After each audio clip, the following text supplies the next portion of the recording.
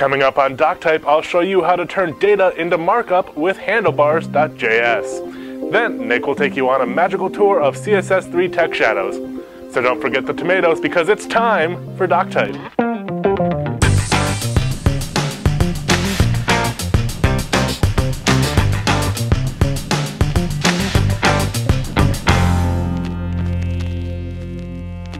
I'm Nick Pettit. And I'm Jim Hoskins. And you're watching DocType. Whether you're a designer that's absolutely terrified of code, or a developer who thinks the golden ratio is a fast food combo meal, DocType has the latest tips, tricks, and tools to help make you a really awesome web professional. So, we have a huge announcement Jim and I are going to be speaking at Converge SE 2011. We're very, very excited about this. Converge is on June 24th and 25th in Columbia, South Carolina. We'll be presenting on building communities, and I'll also be giving a workshop on creating real-time web applications with Node.js. So you're going to want to check it out. So we hope to see you in South Carolina. So Another conference we are going to be at is LessConf 2011 BCE. Not speaking, just drinking. not speaking, yeah. um, it is on April 29th and 30th in Atlanta, Georgia. And these guys are so nice, they're giving away a free ticket. So if you go over to facebook.com slash lessconf and then click on the link over on the left-hand side, you can enter to win a free ticket to LessConf pretty awesome. And don't forget, Barcamp Orlando is this Saturday at Wall Street Plaza in downtown Orlando. We're going to be there, and we hope to see you there, and even maybe even see you give a presentation. Everyone is welcome. Definitely. So, this week, I am going to be teaching you all about CSS3 Text Shadows. But first, I'll be showing you how to create templates with handlebars. Let's check it out. Now, something we often do when building websites is generate dynamic content on our web pages. And a lot of times that is coming from something like this, where we have just a lot of data and we need to somehow turn this into markup that we'll put onto our page that maybe looks a little something like this. In our example here, we're just using the Twitter search API to search for something in our text box and display it on the page. Now we can use handlebars as a templating language in order for us to turn our data into actual markup. Now, before I show you how it actually works, I'm going to show you what the code for a template looks like. Now, as you can see, it just looks like normal HTML. In fact, it can be done for HTML or really anything else. It's just inserting some dynamic content into your strings. So in this case, this is my template for the page you just saw. Now we have special parts here highlighted in blue, and they are the dynamic parts of our template, and they're surrounded in double sets of curly braces. So you can see in our first one here, we have a query variable, and then some other variables around here. Now to show you the data that this is being generated from, this is sort of the summary of the results we're going to get from the Twitter search API. So you can see it has a key called query, and it's going to be the actual search query that we sent. And so when we send this to our template, we're going to be able to access the query variable by simply wrapping it in the double curly braces. Now another thing you can see here is we have a result key, and that is an array which contains all of our individual tweets that we're searching for. Now we can see how to use the block formatting in the handlebars by using the double curly braces and using the pound or hash symbol and then the name of the key, in our case results. Now, if we use the block syntax and it's an array, what it's going to do is going to take everything in between the hash results and the slash results ending block, and it's going to repeat them once for every item in the array. So the first time we do it, it's going to be this first item here, which we'll say is a tweet from user Jim R Hoskins with all of our data.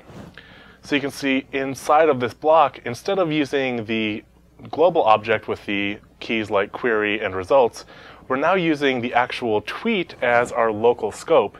So things like the profile image and from user are now accessible as the names of the keys that we can use in our template. So when we actually render this out, it'll be image source, and instead of profile image URL, it'll actually be the value for the profile image URL of that particular iteration. Now, the next time it'll be the next tweet and the next tweet, and it'll continue putting that block of code into our rendered template string over and over again.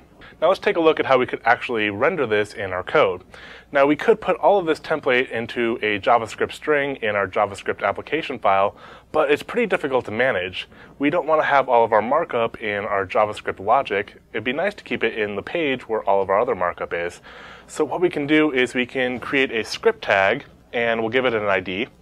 And what's very important is we give it a type of text slash x dash handlebars dash template. Now, actually, the type doesn't matter so long as it's not JavaScript. That means the browser will take this script and it won't try to parse it as JavaScript, but it also won't display it on the page. And the script serves as a nice container for our markup that we can retrieve later. Then in our code, we can actually grab that by using jQuery in this case to grab that tweet template script tag and get the HTML by using the jQuery HTML method. Then we actually create our template by calling handlebars.compile and we'll pass in the actual string of our template, which we just got in the tweet underscore source variable. So now our template is a function, and we can pass into that function the data that we saw before, and it will return a fully rendered version of that template using the data you pass to it. So in my case, after I did the AJAX call to get the actual search results, I had a variable called data, and then I could call template and pass it that data. And then I'll be returning this HTML, which is the final HTML I want to render on my page. So what I'll do is I'll simply call .html on this results div to pass it in and render it into the page. Now there are a lot of other cool features in Handlebar, so I recommend you take a look at the documentation and see if it could be useful for you in your web application. Listen, you need a domain name. You know it, I know it, but where are you gonna go get it? GoDaddy, that's where. If you're looking to drive viewers to your video content, then .tv domains are where it's at. .tv domains are perfect for podcasters, video bloggers, and anyone with something to say. And they're available now at GoDaddy.com. Heck, where do you think we got DocType.tv from? So we know you all get your domains from GoDaddy, but whose code are you gonna use? Enter the code DocType3 when you check out and save an additional 10% off your entire order. Some restrictions Restrictions apply. See site for details. Get your piece of the internet at GoDaddy.com.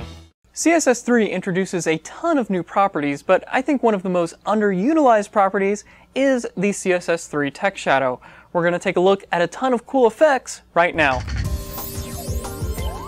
The last time we talked about text shadows was in episode 1 of DocType, and I showed you a pretty cool effect where you can create inset text using text shadows. The syntax for this looks like this. You start out with a 0x offset, a 2 pixel Y offset, and then a 3 pixel blur radius. So that's going to put the shadow just slightly below your text and then blur it just a little bit. And you want to put the text shadow at a lighter color than your background. And this of course works best for darker colored backgrounds. So that's pretty basic. Let's get a little bit more complex you can create this really cool line art effect by using two text shadows in combination with one another. The first text shadow uses a slight offset from the origin, and then the next text shadow uses a larger offset. Additionally, the first text shadow should be the same color as your background. The next effect is what I call the shadow, which is literally just a text shadow.